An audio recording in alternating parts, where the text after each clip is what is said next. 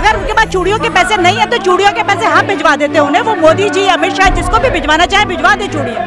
हम चूड़ियों के पैसे और बेटर चूड़ियों के पैसे भिजवा देते हैं। बात एक सीधी जो डायरेक्ट समझने वाली है, वो ये है कि बेटी बचाओ, बेटी पढ़ाओ का मतलब ये था, अपनी बेटी को हम जैसे दरिंदों से बचाओ और उन्हें पढ़ाओ कि आपका कुछ नहीं होने वाला, ना आपको न्याय मिलेगा, न्याय नहीं मिलेगा, ये पढ़ के रखो कि मोदी जी भूल जाते हैं कि हिंदुस्तान में बेटियाँ जो है ना, तब भी पढ़ रही थी जब सरोजनी नायडू लीडर थी हमारी।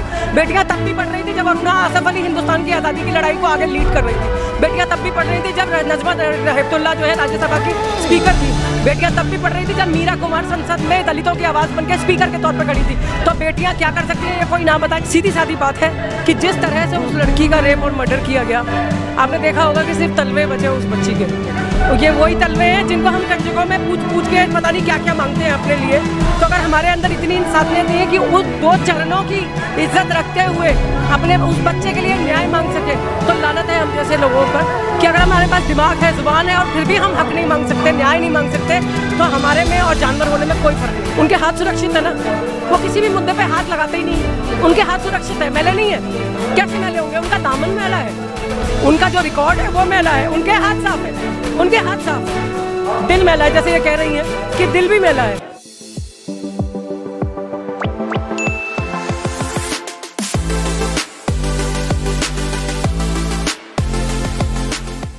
देखिए, ऐसा अधिकार अपना है अपनी बात कहने का, हक मांगने का, न्याय मांगने का ये अधिकार सबको है। और इसीलिए दिल्ली प्रदेश महिला कांग्रेस और पूरी कांग्रेस कमेटी आज जो है, दलितों, पीड़ितों, वंचितों मतलब जिन लोगों को दबाया, कुछ, कुचला जाता है, आज सोचते हैं कि चलो इसके साथ इसके साथ तो कितने लोग होंगे, झोपड़ी में रहने वाले, झुग्गियों में रहने वालों की अकेले बात नहीं है। बड़े बड़े घरों में भी ये कांड अगर होते हैं, उसको दबास पुलिस इसलिए देती है कि वो अपने क्राइम का ग्राफ नहीं बढ़ाना चाहती। सरकार ये नहीं चाहती कि लोगों को ये पता चले कि उनका क्राइम कितना है, किस तरह के लोग जो है, परेशान हो रहे हैं और ये सारी चीज़ें हो रही हैं। सीधी सादी बात है कि जिस तरह से उस लड़की का रेप और मर्डर किया गया, आपने देखा होगा कि सिर्फ़ तलवे बचे उस बच्ची के।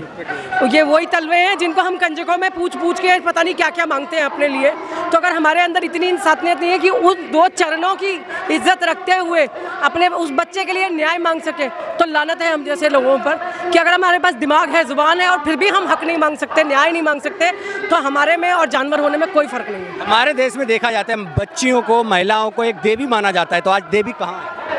देखिए, देवी जो है वो तो सर चढ़ के बोल रही है।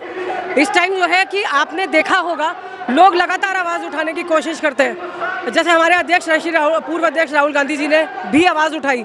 सिर्फ़ उनका ही नहीं, कांग्रेस के करीब 400 बड़े नेताओं के ट्विटर अकाउंट ब्लॉक कर दिए गए। क्योंकि आप ये नहीं चाहते कि एक जो एलिट क्लास है, या जो पढ़ा लिखा तबका है, या देश के बाहर तक ये बात जाए कि हिंदुस्तान में क्राइम कहाँ तक जा रहा है, बच्चियों का, महिलाओं का किस तरह से शोषण किया जाता है। आप और मैं जब ये इंटरव्यू कर रहे हैं, कल एक दलित बच्ची का, त्रिलोकपुरी में छः साल की बच्ची का फिर रेप हुआ है। उसका पड़ोसी ही जिम्मेदार है। लेकिन पुलिस कल कंप्लेंट लेने को तैयार नहीं थी। दिल्ली कांग्रेस अध्यक्ष अनिल चौधरी जी रात को वहाँ गए हैं। उन्होंने पुलिस के साथ जाके और नितिन राउत जी जो नेशनल प्रेसिडेंट है हमारे ओबीसी मोर्चा के एस सी के उन्होंने साथ में जाके इस कंप्लेंट को रजिस्टर कराया है।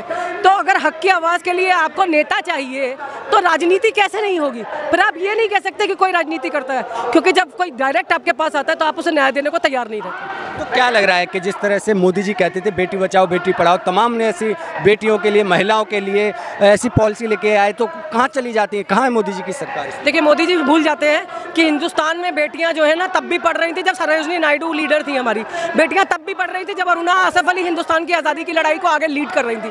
बेटियाँ तब भी पढ़ रही थी जब नजमा रहमतुल्ला जो है राज्यसभा की स्पीकर थी। बेटियाँ तब भी पढ़ रही थी जब मीरा कुमार संसद में दलितों की आवाज़ बनकर स्पीकर के तौर पर खड़ी थी।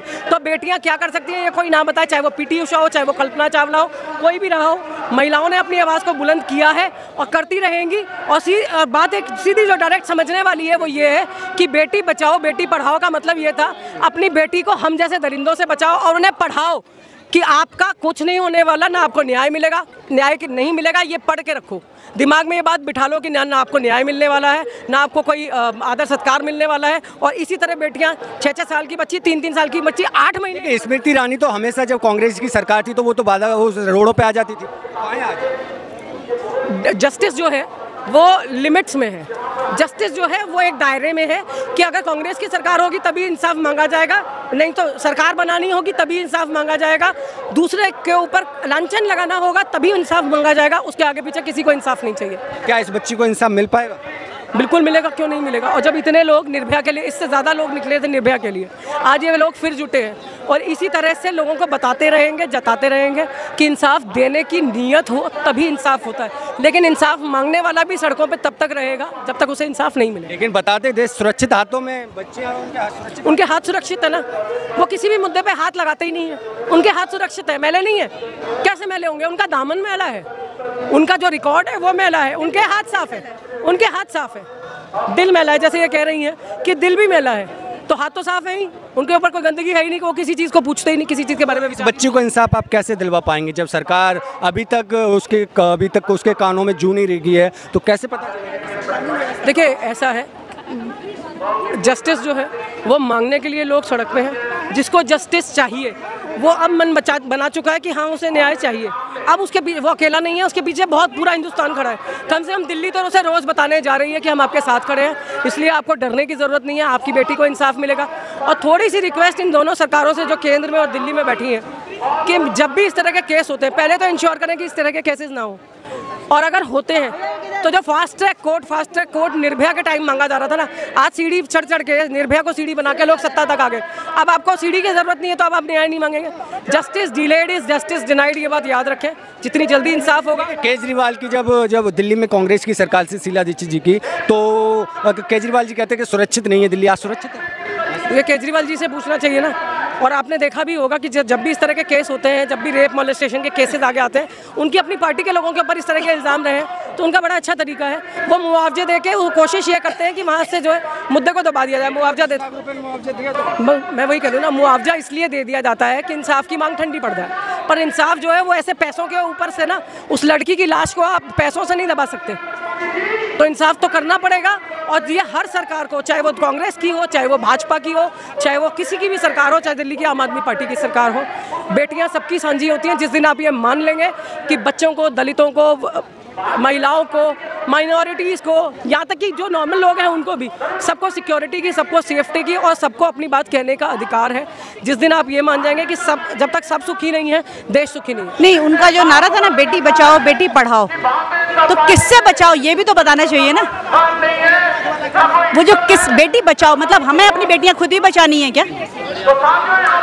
जहाँ तक आपने पूछा था कि न्याय कैसे मिलेगा? न्याय व्यवस्था अभी भी मैं कह सकती हूँ कि वो थोड़ी सी एक ऐसी है मतलब कोर्ट की व्यवस्था की मैं बात कर रही हूँ जहाँ पे जजेस हैं लॉयर्स हैं जो मैं कह सकती हूँ कि आज भी शायद निष्पक्ष होकर सोचते हैं।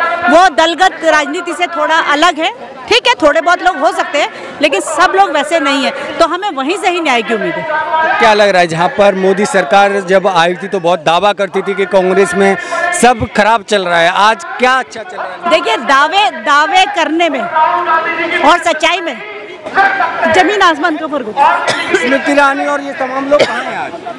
वो तो उनसे पूछे ना कि कहाँ है कि किस दबाव के तहत वो बोल नहीं रहे हैं। वो तो तो मैं वही तो बोल रही हूँ अगर उनके पास चूड़ियों के पैसे नहीं है तो चूड़ियों के पैसे हम भिजवा देते हैं उन्हें वो मोदी जी अमित शाह जिसको भी भिजवाना चाहे भिजवा दे चूड़ियाँ। हम चूड़ियों के पैसे और बेटर चूड़ियों के पैसे भिजवा देते हैं। मैंने आपको कहा ना कि न्याय व्यवस्था पे अभी भी हमें विश्वास है। कोर्ट कोर्ट पर हमें अभी भी विश्वास है। सरकार दबाएगी ना मसला, लेकिन कोर्ट को सो मोटो लेने का राइट होता है। तो इसलिए हमें न्याय व्यवस्था पे पूरा विश्वास है और हमें मालूम है कि न्याय व्यवस्था के माध्यम से इस बच्ची को ही नहीं, हर बच्ची को न्याय मिलेगा।